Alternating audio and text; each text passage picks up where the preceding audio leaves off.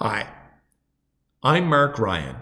In this video, I'll share my review of The Greatest Capitalist Who Ever Lived by Ralph Watson McElvenny and Marc Wortman. This book tells the story of Tom Watson Jr., the CEO of IBM during its emergence as a computer giant in the mid 20th century. So, what's this book about? First, it's a history of IBM, from its origins in the early 20th century to its climb to the top of the computer industry in the 1960s.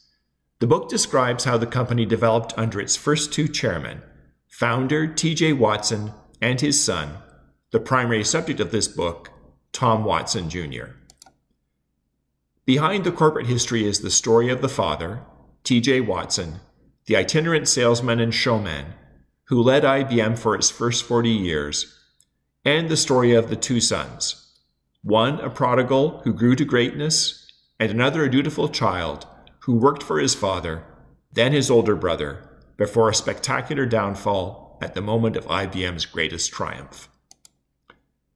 The book describes how the elder Watson's son, Tom Jr., learned discipline and leadership while serving in the U.S. Air Force during World War II then, after the war, reluctantly returned to IBM and his father's oppressive gaze, and finally ascended to the top of the company using his natural talents and the lessons the war taught him.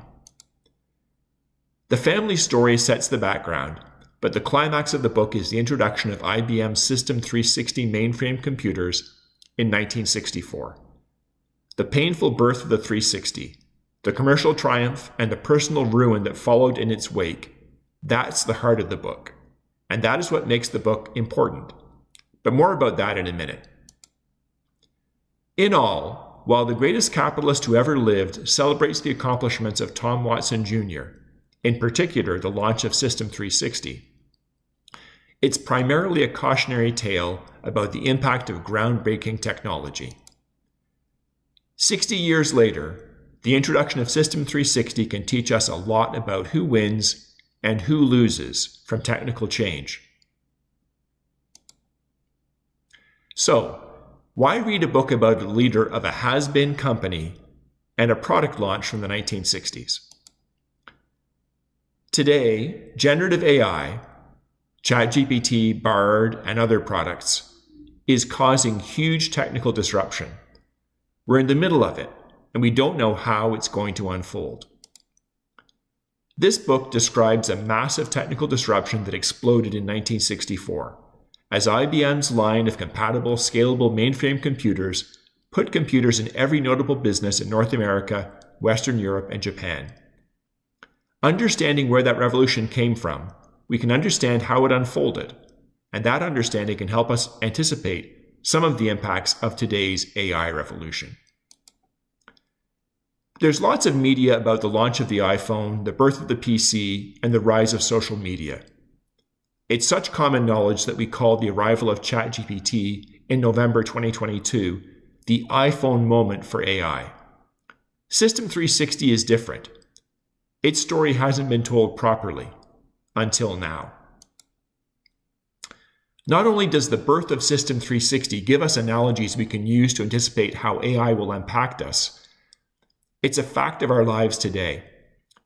Every time you use a banking machine, pay income tax, or make an insurance claim, chances are that the computer that processes those transactions is a direct descendant of System 360.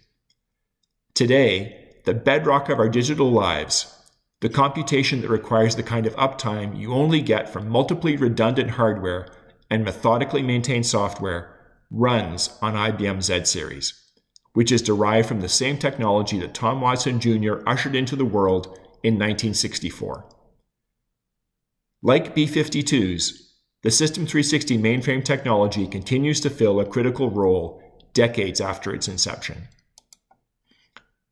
The brilliance of the greatest capitalist who ever lived is that it tells the story of System 360, this complex, messy, yet vitally important story in detail. You get to see the personalities, the technical challenges, and the high stake business risks.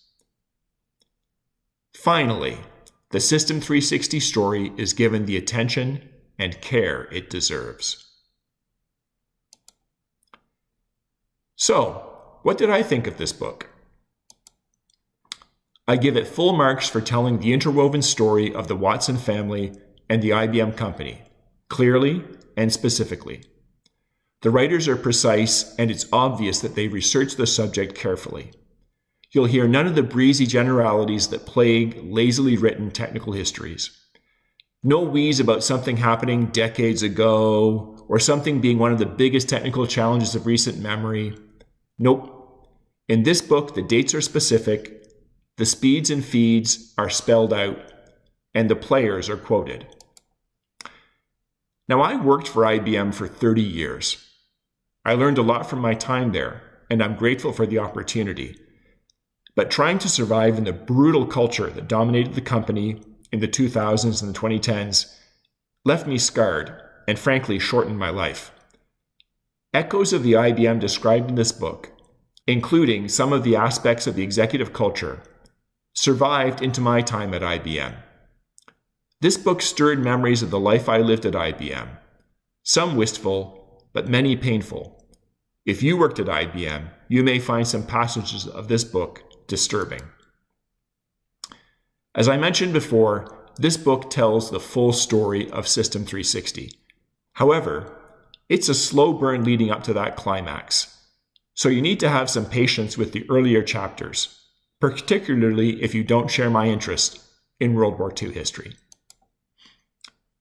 Like Cade Metz's superb book on the history of AI, Genius Makers, this book is a brilliant work let down by its title. The title is a quote from a Time magazine article about Tom Watson Jr., but frankly, it's too long, and it doesn't accurately encapsulate Watson's character. After all, he was a progressive Democrat. Overall, I highly recommend this book. It's well written, well researched, and it tells a story that we need to be told today. Unreservedly, five stars. And that is my review of the greatest capitalist who ever lived, Tom Watson Jr. and the epic story of how IBM created the digital age by Ralph Watson McElvenny and Marc Wortman. Thanks for watching, and if you enjoyed the video, please leave a comment.